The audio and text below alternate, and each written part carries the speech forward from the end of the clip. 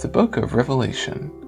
The Book of Revelation was written by John of Patmos, but we don't exactly know who this John was. He could have been John the Apostle, or John the Presbyter or Elder, or maybe some other John. If the book was written by one of the apostles, it seems unlikely that he would list the names of the apostles as a group distinct from himself. Also, the Greek of the Gospel of John is fairly grammatical, whereas the Greek found in Revelation is not. However, this may be because the author's native language wasn't Greek, but rather Aramaic or Hebrew. There's no way to know for sure whether John the Apostle or some other John wrote the book. John was apparently a very common name among early Christians. The book was probably written around AD 95. The earliest external evidence for the book of Revelation is a statement coming from Irenaeus, who said that the book was seen at around the end of the reign of Domitian, who was emperor of Rome from 81 to 96. It also seems likely that the book was written after the destruction of Jerusalem in the year 70 by Titus, since by this point Babylon had become a symbolic name for Rome in Jewish literature. The letter of 1 Peter uses this language as well, the view being that Rome had become just another Babylon, an evil empire. Babylon had destroyed the first Jewish temple, and Rome destroyed the second. A day after the temple's destruction would also possibly fit the description of the temple in chapter 11, where John writes that the temple's outer court had been handed over to Gentiles for 42 months. The book was written to the seven churches of Asia Minor, and it affirms the hope of Christians for a transformation of the world where evil will be destroyed and Christ's universal reign will be accomplished. The book presents an apocalypsis, or unveiling of unseen realities, both in heaven as it is now and on earth as it will be in the future. The author attempts to bring a message of hope for persecuted believers suffering from government tyranny and tries to place their suffering in cosmic perspective. There are a number of different methods of interpreting this book, including four main ones the preterist, the historicist, the futurist, and the idealist approach.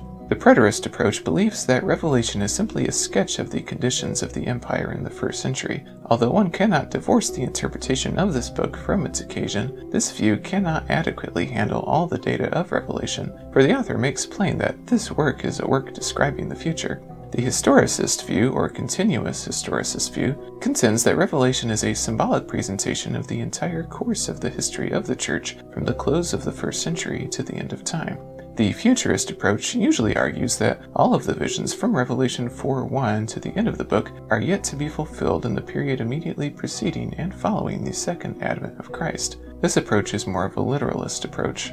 In the idealist approach, the revelation represents the eternal conflict of good and evil which persists in every age, although here it may have particular application to the period of the church. But like the preterist view, this approach does not do justice to the predictive elements in the book. The book begins with a prologue starting with the author's self identification and the basis for his authority, divine revelation. The text is identified as a revelation of what must soon take place. The revelation was sent from God to Jesus, to the angel, to John, to the churches. The next part contains greetings and a doxology. The letter is addressed to the seven churches in the province of Asia. A blessing of grace and peace is given to the reader from the one who was, and is, and is to come. The seven spirits before the thrones and Jesus Christ also send their blessings. Jesus is identified as the faithful witness, the firstborn from the dead, the ruler of the kings of the earth, our lover, our liberator from sin, the one who made us a kingdom of priests and worthy of praise. We then come to the doxology.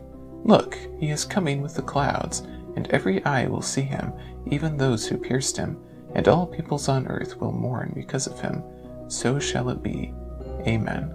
The next part of the book is John's vision of Christ. Here, the writer identifies himself as John and says that he, like others, has endured suffering for Jesus and that he is on the island of Patmos because of the testimony of Jesus. He says that he was in the Spirit on the Lord's day when he heard a trumpet like voice behind him telling him to write down what he saw and to send it to the seven churches. He then turned to see seven gold lampstands and a fiery man, bright as the sun, holding seven stars in his hand and with a sword coming out of his mouth. John then faints, and the man touches him and tells him not to be afraid. The man identifies himself, saying, I am the first and the last.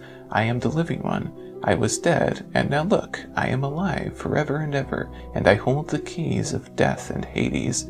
The man then says that the seven stars represent seven messengers, and the seven lamps represent the seven churches. The next section of the book contains Jesus' letters to the seven churches of Asia Minor. John directs the record of his visions to the seven churches in the province of Asia, which incorporated approximately the western third of Asia Minor. His words to the churches contain evidences that he was familiar with the local conditions and traditions of these churches, which may have been personally known to him from his association with that area. His reason for selecting these seven churches, as well as the order in which the churches are listed, probably has to do with geography and communications. The cities in which the churches are located are all centers of communication, and a messenger bearing revelation to the cities would arrive in Ephesus from Patmos, travel by a secondary road north to Smyrna and Pergamum, and then go east on the Roman road to Thyatira, Sardis, Philadelphia, and Laodicea.